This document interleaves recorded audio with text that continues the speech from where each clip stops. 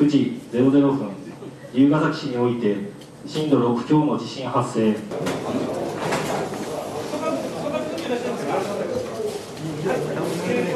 速やかに避難所を開設して避難者の安全安心を確保するとともに前後ぐらいだと思うけどえーまたその出血に驚いて、えー動揺されている模様です。情報収集班聞こえますかが情報収集班です。聞こえますえー長山大宮小見線、えーこちらが天井崩落のため、え2つの小見線を除きまして、前回16頭、今回50頭、えー、それから道路の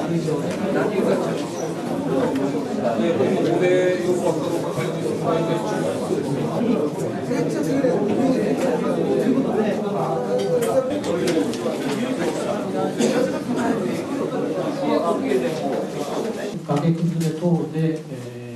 人が行方不明になっているといったそういった人人命救助最優先すべき人命この訓練を教訓としてその混乱する混乱の収集までの時間を短くするかというのが一つの大きなテーマだと思いますし教訓をマニュアルに反映させる記憶に残す記録に残すなどをしてえー今後の対応に生かしてい職員向かってるから、対応は、えー、コンピューターで調整するから。